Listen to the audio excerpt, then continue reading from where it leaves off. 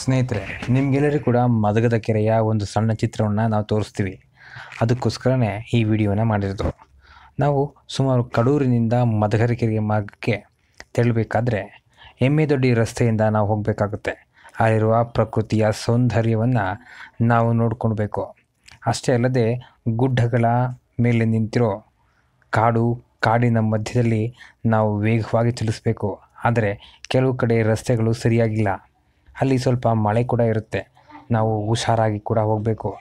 ಮದಗದ ಕೆರೆ ಅಂದ, ಅನ್ನೋದ್ರೆ ನಮಗೆ ನೆನಪಾಗೋದು ಮಾಯದಂಥ ಮಳೆ ಬಂತಮ್ಮ ಎಂಬ ಸಾಂಗು. ಆದರೆ ಆ ಕೆರೆಯನ್ನು ನೋಡಿ ಕೂಡ ಈ ಸಾಂಗನ್ನು ಬರೆದಿರೋದು ಮಾಯದಂಥ ಮಳೆ ಬಂತಮ್ಮ ಮಗದಾಗ ಕೆರೆಗೆ ಎಂಬ ಸಾಹಿತ್ಯವನ್ನು ಜನಪದರು ಆಡಿರೋದು ಹಾಗಾದರೆ ಮಾಯದಂಥ ಮಳೆ ಬರೋದಾದರೂ ಹೇಗೆ, ಆ ಮದಗದ ಕೆರೆ ತುಂಬೋದಾದರೂ ಹೇಗೆ ಅನ್ನೋದನ್ನು ನಾನು ಈ ವಿಡಿಯೋದಲ್ಲಿ ತಿಳಿಸ್ತೀನಿ.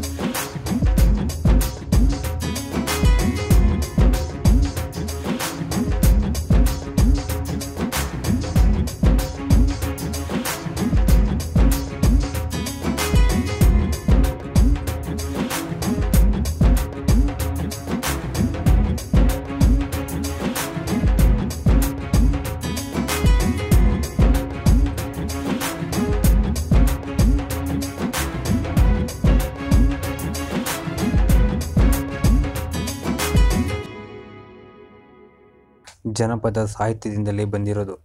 ಈ ಕೆರೆಯ ಒಳನೋಟ ತುಂಬ ಸುಂದರವಾಗಿದೆ ಮತ್ತು ಸ್ವಚ್ಛಂದವಾದ ಪರಿಸರದಲ್ಲೇ ಇದೆ. ಈ ಕೆರೆ ಆವರಣದಲ್ಲಿ ಸುಮಾರು ಸಾವಿರಾರು ವೃಕ್ಷಗಳು ಇಲ್ಲಿ ತಲೆ ನಿಂತ್ಕೊಂಡಿದೆ.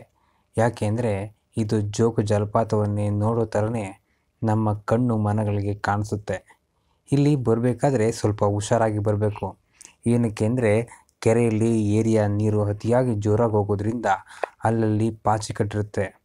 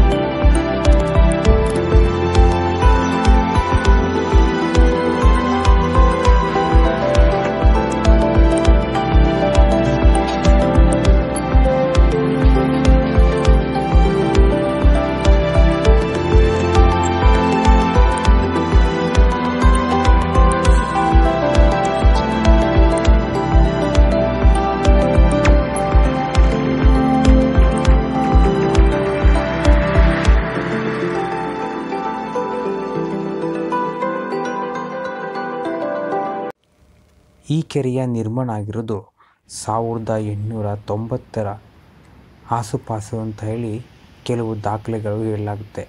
ಆದರೆ ಇದರ ಯಾವುದೇ ಮಾಹಿತಿಗಳು ನಮಗೆ ಲಭ್ಯ, ಲಭ್ಯವಿಲ್ಲ. ಆದರೂ ಇದರಲ್ಲಿ ಹಿಂದಿನ ಕಾಲದ ವೀರಗಲ್ಲು ಹಾಗೂ ಶಿವನ ಲಿಂಗ ಮುದ್ರಿತವಾದಂಥ ಕೆಲವು ಕಲ್ಲುಗಳಿದೆ. ಅದರ ಜೊತೆಯಲ್ಲಿ ಕೆರೆಯ ಹಿಂಭಾಗಕ್ಕೆ ಹೊಂದಿಕೊಂಡ ಬಿಲ್ವಪತ್ರೆ ಮರ ಹಾಗೂ ಅಲ್ಲಿನ ಕೆಂಚಮ್ಮ ಎಂಬ ಗ್ರಾಮ ದೇವತೆ ಇಲ್ಲಿ ವಾಸವಾಗಿದ್ದಾರೆ.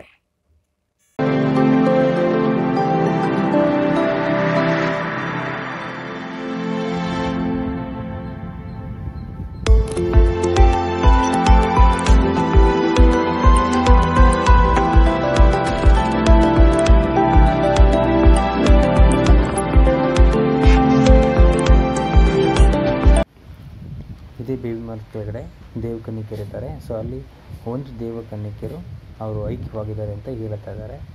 ಸೊ ಇಲ್ಲಿ ವಿಗ್ರಹಗಳು ಹಿಂಭಾಗದಲ್ಲಿ ಕಾಣುತ್ತೆ. ಜೊತೆಲಿ, ಜೊತೆಯಲ್ಲಿ ಕೆಂಚಮ್ಮನವರ ಒಂದು ತವರು ಮನೆ ಅಂತ ಕೂಡ ಕರೀತಾರೆ ಇದನ್ನು. ಇಲ್ಲಿ ಕೆಲವರು ಬಂದು ಮಕ್ಕಳಾಗಲ್ಲ ಅಥವಾ ಮದುವೆ ಆಗಲ್ಲ ಅನ್ನೋರು. ಇಲ್ಲಿ ಆಕೆ ದೇವಿಯನ್ನು ಆರಾಧಿಸ್ಕೊಂಡು ಪೂಜೆ ಮಾಡಿ ಹರಕೆ ಹೊತ್ಕೊಂಡು ಹೋದರೆ ಅಲ್ಲಿ ಫಲ ಸಿಗ್ತದೆ ಅಂತ ಕೂಡ ಇಲ್ಲಿನ ನಂಬಿಕೆ ಕೂಡ ಇದೆ. ಇಲ್ಲೊಂದು ದೊಡ್ಡ ಕಲ್ಲಿದೆ. ಆ ಕಲ್ಲನ್ನು ಎತ್ತಿ ಮೈ ಮೇಲೆ ಎತ್ತಿ ಹಾಕಿ ಎತ್ಕೊಂಡು ಸುತ್ತರಿ ಸುತ್ತರಿಬೇಕು. ಅಂದರೆ ಏನು ಅದು ರೌಂಡ್ ಹೊಡಿತಾರೋ.